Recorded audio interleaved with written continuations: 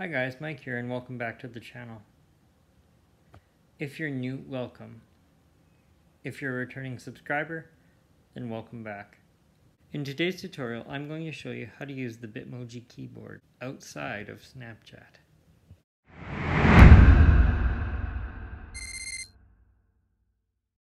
You can send a Bitmoji in any other messaging application that is used on the iPad.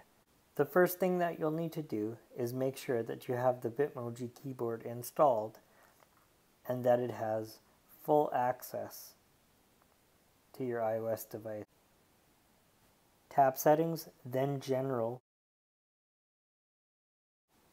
Tap Keyboard.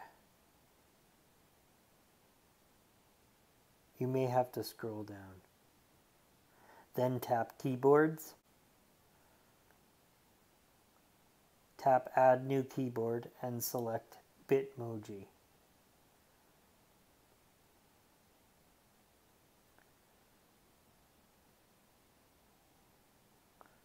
Once it's added, tap it.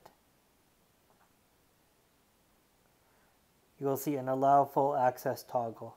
If it's off, toggle it on and allow full access.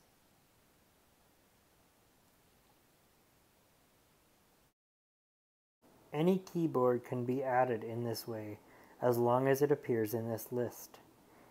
A keyboard in an app that you install will appear in the third-party keyboards section.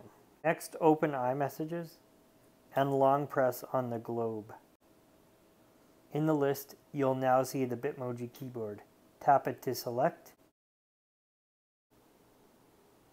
Either select the bubbles at the top in different colors, or swipe left and right to see all the different categories.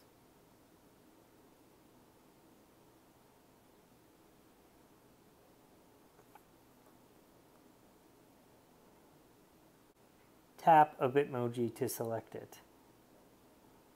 When you do, you will see a green line. Next, long press in the iMessage field. Tap Paste when it appears and then send the message. The message is sent. To make the keyboard disappear, hit the key in the bottom right hand corner. I love Mike's videos. Please subscribe to his channel for more tips, tricks, and tutorials.